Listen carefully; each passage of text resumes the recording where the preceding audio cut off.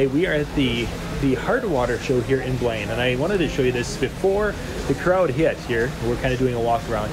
This is the WilCraft. This is a powered portable fish house. Basically, you can drive this out. You can see the little handles there for kind of a hydrostatic type drive system.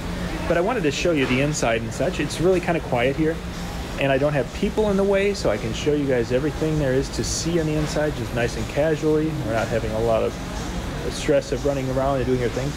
So what happens? Is you can drive this out to your spot.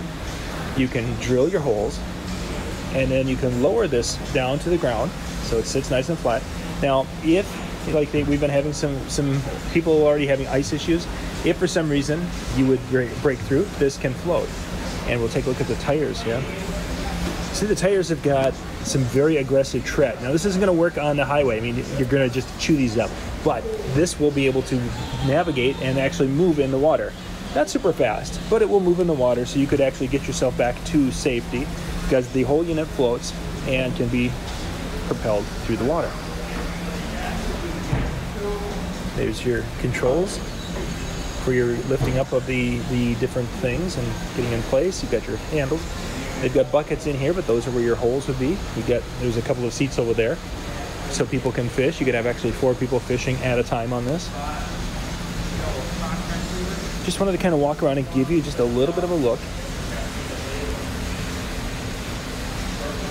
Typically, it's noisy, crowded. There's people all over, and we don't have a chance to to look at something like this in depth. And obviously, they have some customization with some rod holders there, and there were some rod holders in the front, some tubes there for that. And I don't think we can see those seats, can we? I think it was more of a bench, if I'm not mistaken, that was up here. Yeah, a little spot where you could sit. So really, it's this one's a two-person. I think there is one that has seats, some nicer seats in the front also. And then, of course, the power plant for the whole thing is right there.